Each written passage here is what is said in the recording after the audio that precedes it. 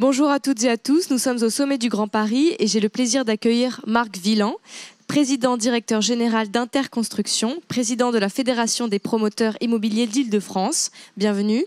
Bonjour. Bonjour. Pourquoi participez-vous à cette édition du sommet du Grand Paris?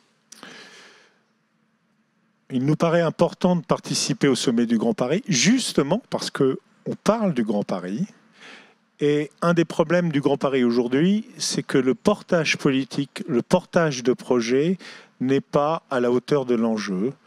Et ce sommet a le mérite de reposer la question régulièrement, chaque année, autour de grands thèmes d'actualité, de grands thèmes de société.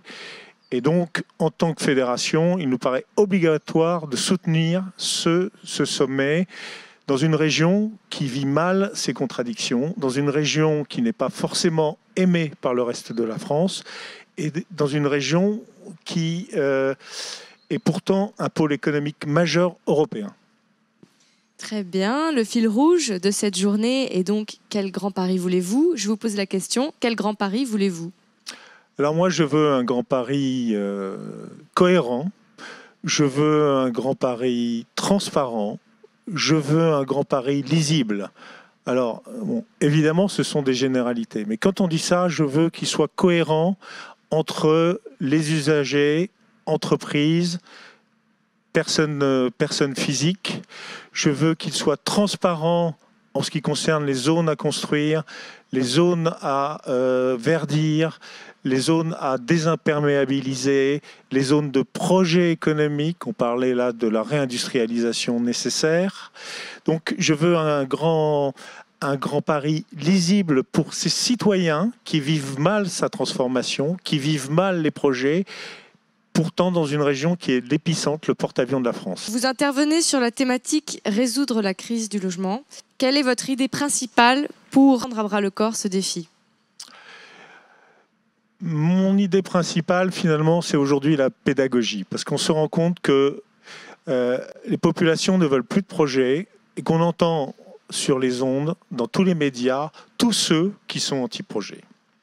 Parce que consommateurs d'espace, parce que consommateurs de carbone, parce que, etc., etc. Les projets, c'est de l'emploi. Les projets, ce sont des bâtiments beaucoup plus vertueux, beaucoup moins consommateurs de carbone et ce sont la possibilité pour tout le monde de se loger. 24% des ménages franciliens sont en situation de suroccupation. 50% des jeunes jusqu'à 35 ans restent chez leurs parents. Donc il y a, vraiment une crise sociale à éviter et on a la chance aujourd'hui, si on voulait bien se réformer, de pouvoir résoudre cette crise sociale avec de la pédagogie, en,